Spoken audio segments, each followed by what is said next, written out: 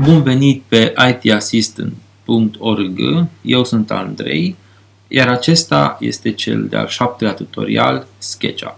În acest tutorial vă voi vorbi despre utilizarea în uh, procesul nostru de creație, să zicem așa, a straturilor sau în engleză a layerelor. De ce sunt necesare layerele? Layerele sunt uh, foarte utile în momentul în care lucrăm cu multe uh, elemente grafice în spațiul nostru de lucru, deoarece cu cât avem mai multe elemente grafice, cu cât avem mai multe poligoane desenate în SketchUp, resursele calculatorului uh, vor fi utilizate la maxim și astfel putem întâlni uh, o încetinire a sistemului nostru, da? a calculatorului. De asemenea, pe lângă ușurarea sistemului nostru, performanțelor sistemului, utilizarea layerelor ne mai ajută și să facem o ordine în uh, spațiul nostru de lucru. Astfel încât când dorim noi putem să eliminăm din câmpul vizual elemente care pe moment nu ne ajută sau ne încurcă uh, la realizarea altui element. Pentru a exemplifica utilizarea straturilor, ale erelor, am uh, realizat uh, în spațiu de lucru trei piese componente ale unei case. Și haideți să le asamblăm. Selectăm pereții, dăm comanda Move, prindem din punctul acesta, din acest endpoint și vom suprapune peste soclu da? în acest punct. Același lucru vom face și cu acoperișul. Move endpoint. Acum, să spunem că vrem să desenăm uh, un obiect, uh, un mobil, o mobilă sau un element uh, mobilier în interiorul, în interiorul uh, acestei case fără însă a da la o parte pereții și apoi să-i mutăm la loc. Aici ne sunt foarte folositoare layerele. Pentru a activa panoul de lucru cu layerele, mergem în Windows, atât pe Macintosh cât și pe uh, Windows, și activăm panoul de lucru cu layerele, da? sau panoul de control, cum vreți să-i spuneți. Care sunt elementele componente al acestui panou layers? În partea de sus avem un semn plus și un semn minus. Bineînțeles, cu plusul creăm un layer nou. Haideți să spunem soclu la primul. Îl creăm și pe următorul, și anume perete. Pe al treilea, și anume acoperiș. După cum vedeți, uh, primul layer se numește layerul 0. Întotdeauna acest layer 0 trebuie să fie prezent. Să zicem că este layerul default în care uh, programul SketchUp va uh, trimite orice element desenat în alt layer, în layerul respectiv este șters, sau uh, în momentul în care începem să desenăm un element, este bine să îl desenăm în layerul 0 și apoi să-i atribuim un strat, un layer nou creat. Exact cum vom face imediat.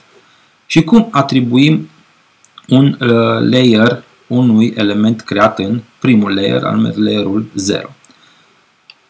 Selectăm obiectul, click dreapta și mergem pe Entity Info.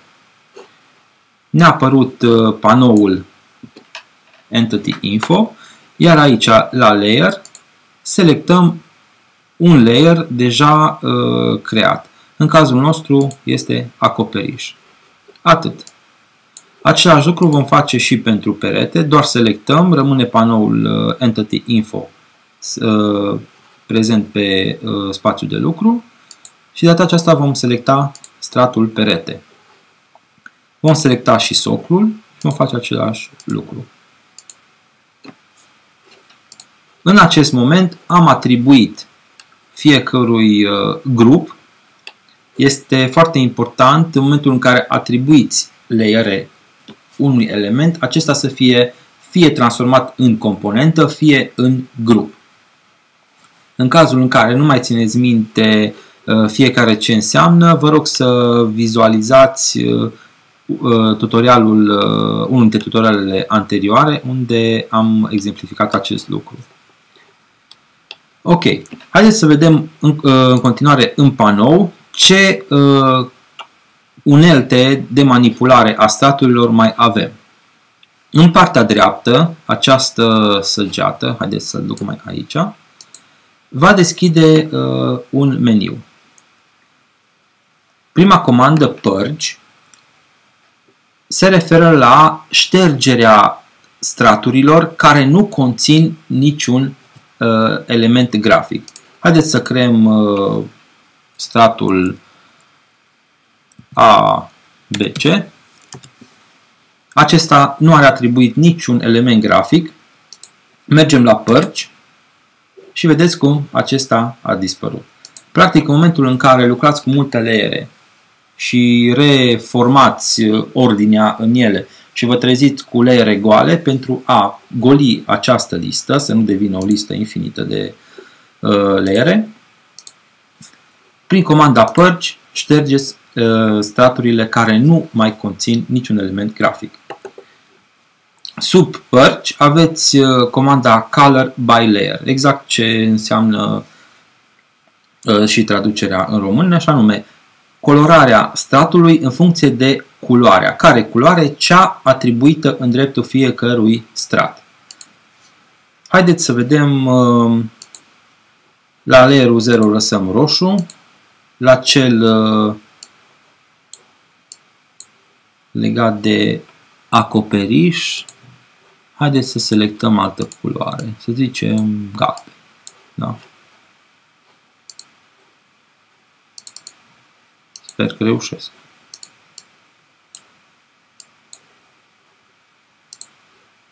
Ok. Mai încerc o dată. Sunt și eu nou pe Macintosh dar îmi place. Ok? La perete să dăm culoare, să zicem, un violet.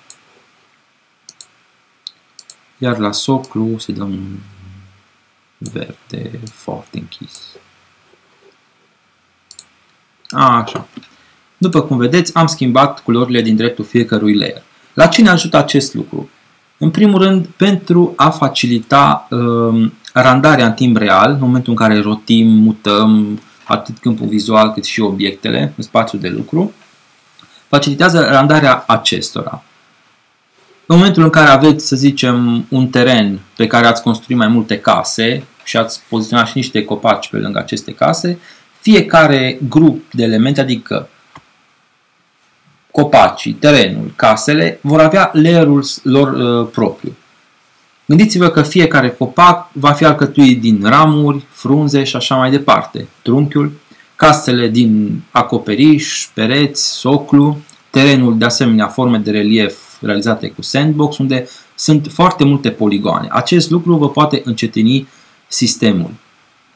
În momentul în care le veți colora doar uh, utilizând culorile specifice stratului, acele texturi complexe vor fi reduse uh, virtual la simple culori și vă vor fi mult mai ușor de uh, manipulat. Haideți să realizăm și aici colorarea straturilor în funcție de culoarea atribuită. Asta nu înseamnă că am pierdut textura, ci doar reprezentăm obiectele noastre în funcție de culoarea stratului în care le găsim. Același lucru îl veți găsi și în AutoCAD, de exemplu. Dacă doriți să anulați acest lucru, debi făm. Și vom vedea elementul nostru cu textura pe care am, am atribuit-o inițial. Ok.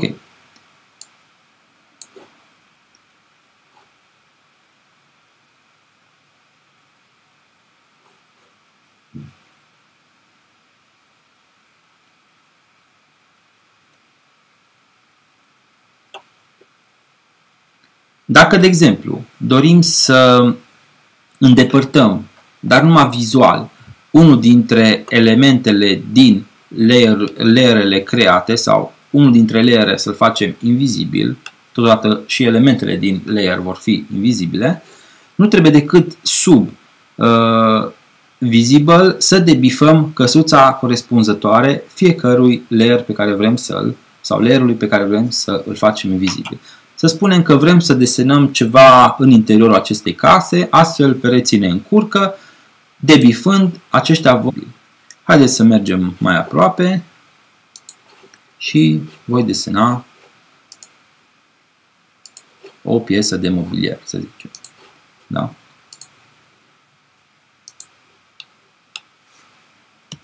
Fac un triplu select, transform în grup sau componentă. Haideți să dăm și culoare. Zicem că este din ceva din piatră. Da? Probabil un șemineu. Ok. Având în vedere că acest element l-am desenat în layerul 0, de ce în layerul 0? Pentru că în uh, momentul uh, lucrului uh, indicatorul din dreptul layerului este activat pentru layerul 0, această bulină albastră. Da? Dacă am fi pus bulina albastră în, albastră în dreptul altui layer, atunci în acel layer am fi lucrat. Însă pentru a nu vă încurca și a vă pierde uh, ordinea uh, layerelor și a obiectelor în ce layere se află, vă recomand și în toate tutorialele care le-am uh, studiat până acum, se recomandă utilizarea implicită a layerului 0 pentru lucrul uh, inițial, după care se atribuie un layer. Haideți să creăm un layer și pentru acest pseudo-șemineu. Da? Punem și o liniuță. Selectăm, pardon, avem deja Entity Info activat. Selectăm pentru acel șemineu stratul aferent și în acest moment și acest uh, corp de mobilier, să zicem, sau acest șemineu, indiferent ce reprezintă, se află în stratul său propriu.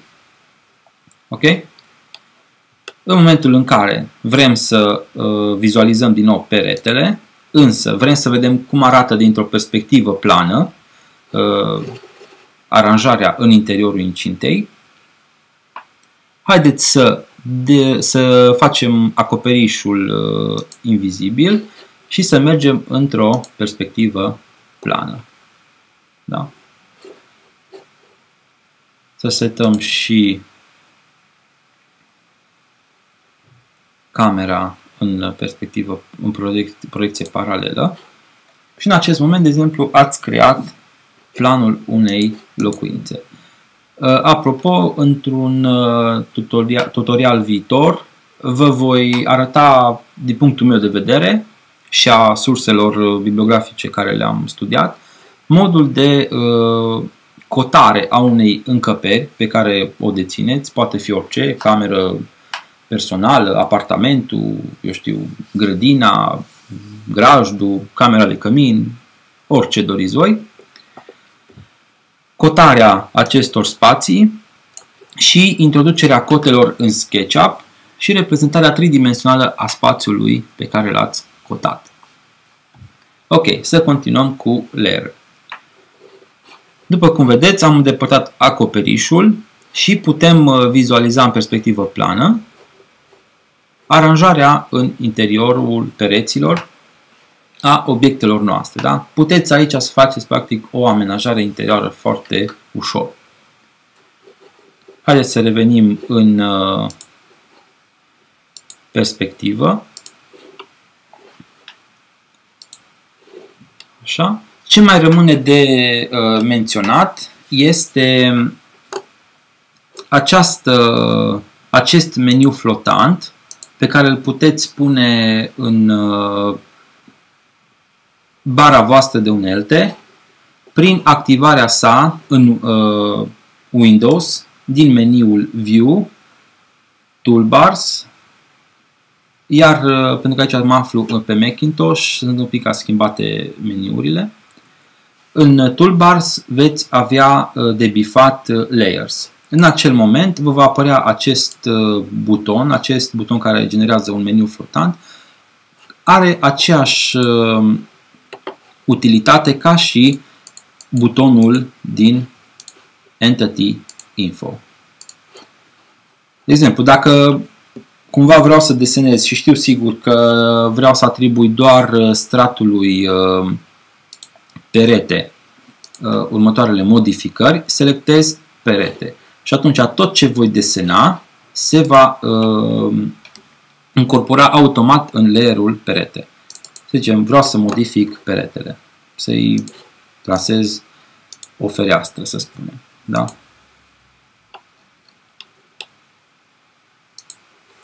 Ok? Și atunci am lucrat, pardon, nu este un exemplu foarte bun, să spunem că pe perete voi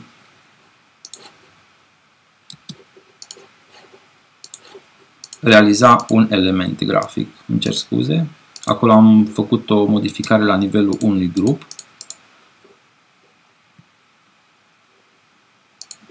Să zicem că am creat acest, să zicem, un panou electric. Da? Și vrem ca acest panou electric să fie vizibil întotdeauna când vedem și peretele. Da? Acum, dacă închidem celelalte straturi și lăsăm doar peretele activat, da? Cer scuze, trebuie să, trebuie să activăm layerul 0. Nu pot exista straturi, toate straturile invizibile în SketchUp. Și acum, când închidem și deschidem layerul, vedem că acel panou electric este atașat peretelui, din punct de vedere al stratului, pentru că el totuși este o entitate de sine stătătoare, prin faptul că l-am transformat într-un grup, separat de către perete, însă se află în același strat. Și atunci, orice uh, modificare de vizibilitate a stratului perete se exercită și asupra acestui element introdus ulterior. Cam atât pentru astăzi. Sper că informațiile uh, v-au fost uh, de folos și până data viitoare vă doresc numai bine. Salut!